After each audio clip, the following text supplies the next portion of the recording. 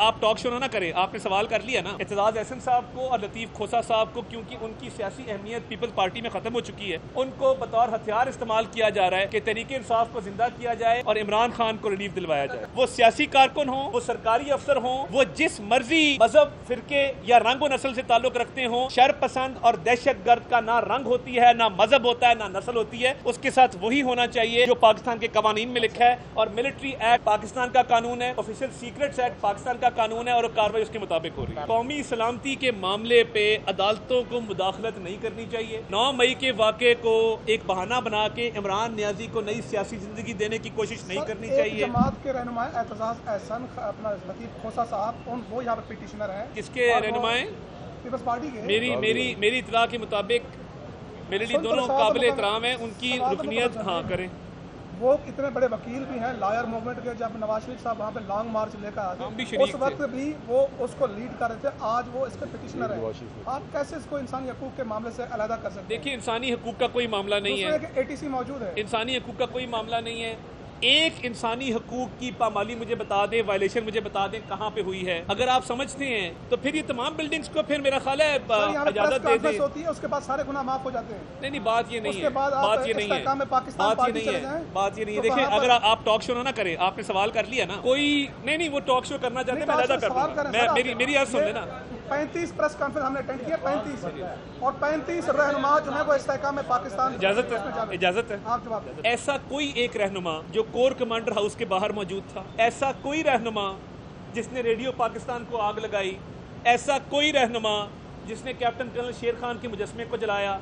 ऐसा कोई रहनुमा जिसने शहदा की यादगारों को मसमार किया एक की प्रेस कॉन्फ्रेंस मुझे दिखा दें मैं आपसे माफ़ी मांग के घर चला राज जाऊँगा। उस जिना हाउस के अंदर था।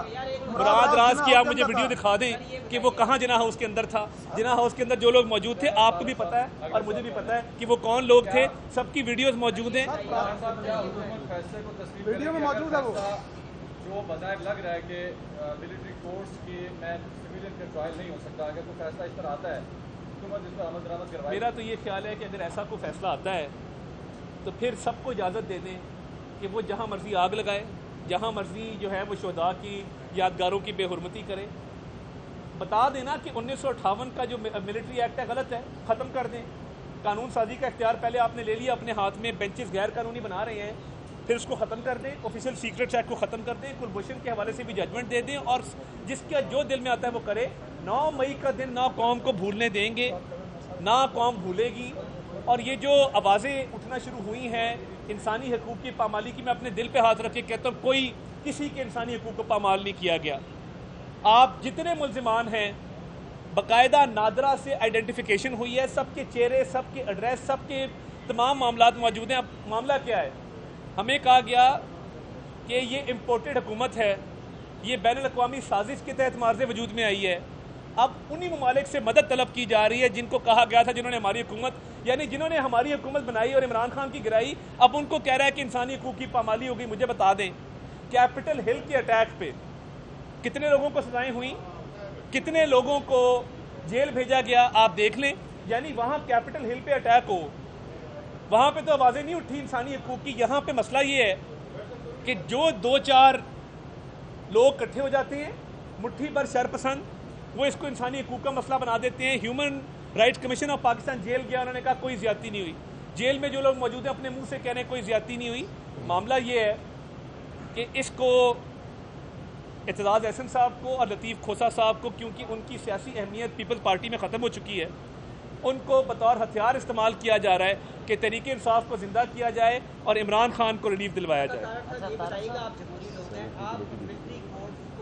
हैं फेवर कर रहे हैं उनके हवाले बिल्कुल नहीं कर रहे। दूसरी बात सर ये बताइएगा कि जब तहरीक इंसाफ कहती है कि इंक्वायरी कमीशन बनाया जाए ये अहम तनसीबात तक लोग पहुँच कैसे गए तो किस हवाले से आप कमीशन क्यों नहीं बना रहे।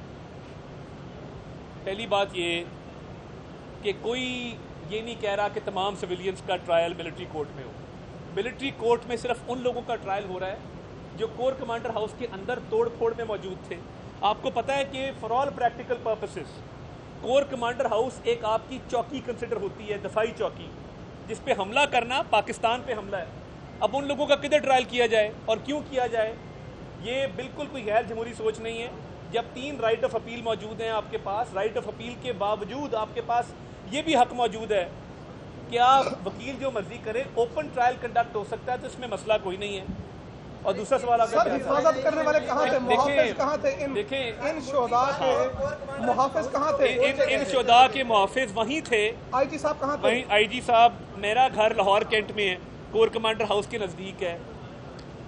जिस तरीके से आपको अल्लाह ताला सलामत रखे हम सबको सलामत रखे। अली नासिर रज़ी से पूछे जब उसकी आँख के अंदर छड़ी मारी गई थी तो क्या हाल हुआ था?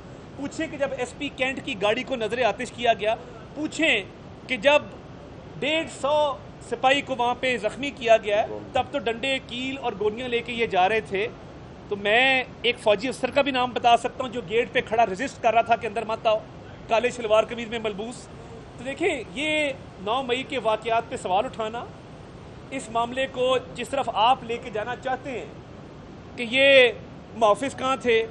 मुआफिस को जब डंडे पड़ रहे थे और यही वहाँ पे गोली चली होती तो आपने कहना था देखें जी कैसी अपनी फौज अपने लोगों पे गोली चला रही है तो इसलिए इसलिए हैव हार्ट इंक्वायरी कमीशन इंक्वायरी कमीशन के हवाले से एक इंक्वायरी कमीशन नहीं देखें first line of defence police है first line of defence police है देखिए बात ये है जब वीडियो एविडेंस आ गया तमाम लोग मौके पे मौजूद हैं ट्रायल्स चल रहे हैं अब इस मामले को ट्रायल खत्म करके इंक्वायरी कमीशन की तरफ़ ले जाया नहीं जा सकता ना ले जाना चाहिए इंक्वायरी कमीशन तो उस बात का हो ना जो बात किसी में कोई भाम हो जब भाम ही कोई नहीं है वीडियो एविडेंस मौजूद है जियो फेंसिंग हो चुकी है मोबाइल टावर से डेटा लेके लोगों की शनाख्त हो चुकी हुई है उनके नंबर आ चुके हुए हैं तो मैं नहीं समझता कि इसमें किसी किस्म की इंक्वायरी कमीशन की गुंजाइश है जो ट्रायल चल रहे हैं उसको फेस करें। तारड़ साहब तारड़ साहब पिछले दौर में भी 25 लोगों का जो है ट्रायल हुआ मिलिट्री कोर्ट में पीटीआई के दौर नए कानून के तहत हुआ था पुराने के।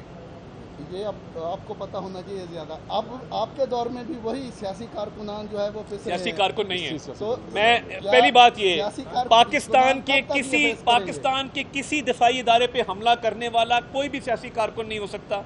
उसको सियासी कारकुन रहने का हक ही नहीं है। आप देखें कि जो काम पाकिस्तान के दुश्मन करना चाहते हैं वो पाकिस्तान की सरजमीन पे चंद मुट्ठी भर शरपसंद नासिर कर रहे हैं। और आप कह रहे हैं सियासी कारकुन जिसने भी दिफाई तनसीबात पे हमला किया है। चागी पहाड़ के मॉडल को आग लगाई है। कैप्टन कर्नल शेर खान के मुजस्मे को मसमार किया है। वो किसी रियायत के मुस्तक नहीं है। वो सियासी कारकुन हों, वो सरकारी अफसर हों, वो जिस मर्ज़ी मज़हब, फिरके या रंग व नस्ल से ताल्लुक़ रखते हों शर पसंद और दहशत गर्द का ना रंग होती है, ना मज़हब होता है, ना नस्ल होती है, उसके साथ वही होना चाहिए जो पाकिस्तान के कवानीन में लिखा है और मिलिट्री एक्ट पाकिस्तान का कानून है ऑफिशियल सीक्रेट्स एक्ट पाकिस्तान का कानून है और कार्रवाई उसके मुताबिक हो रही है। साहब ये बताइए कि सबक वज़ी अजम नवाज़ शरीफ सबक वज़ी अजम इमरान खान के खिलाफ मिलिट्री कोर्ट्स में केस चलाना चाहते हैं या नहीं? वो चाहते हैं इमरान खान का केस मिलिट्री कोर्ट में चले या नहीं। तो ये तो मुझे नहीं पता ना ये मैं कैसे बता सकता हूँ? पार्टी के सरबराह हैं नहीं, बट मेरी उनसे बात- इमरान खान के ये सवाल पता नहीं आप क्या सवाल कर रहे हैं। कोई सवाल नहीं था